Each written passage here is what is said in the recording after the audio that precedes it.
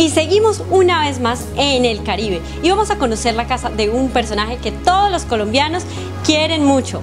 Vamos a ver qué esconde este personaje y quién es detrás de esta puerta.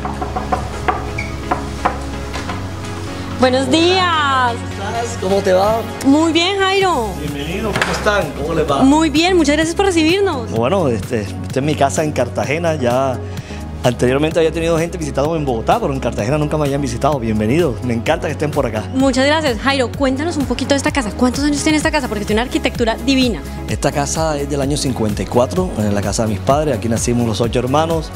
Eh, cuando mis padres murieron yo me quedé con la casa y la he ido poco a poco pues eh, haciéndole sus detallitos. Yo he dejado casi todo como lo tenía mi mamá, eh, que era la, digamos, la, la que mandaba aquí siempre.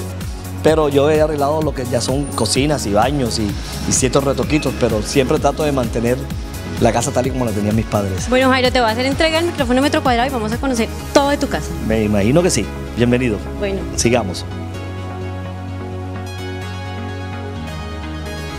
Bueno, esta es la sala. Aquí tenemos pues la figura religiosa. Mi mamá siempre fue muy fanática de la figura religiosa. Yo heredé eso de ella.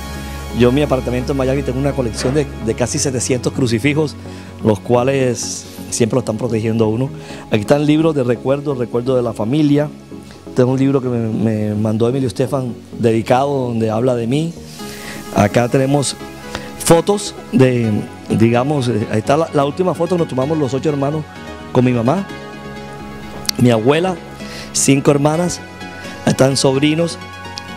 Aquí tengo los papás de Shakira, eh, en esa foto estoy con ellos. Acá es la familia Cobo, en la última reunión que tuvimos en la casa de, mis bisabuelos.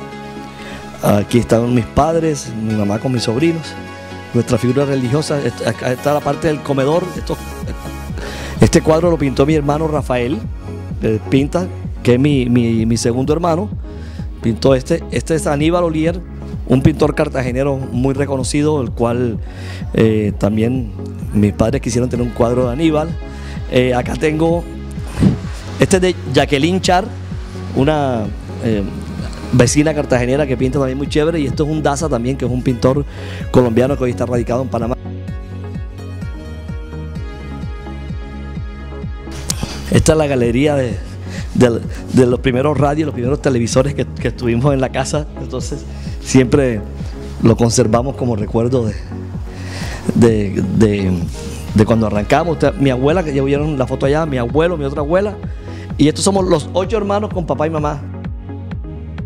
Mandé a hacer esta habitación acá arriba, puse mi closet de Cartagena. Acá este cuadro lo pintó mi hermana Mari.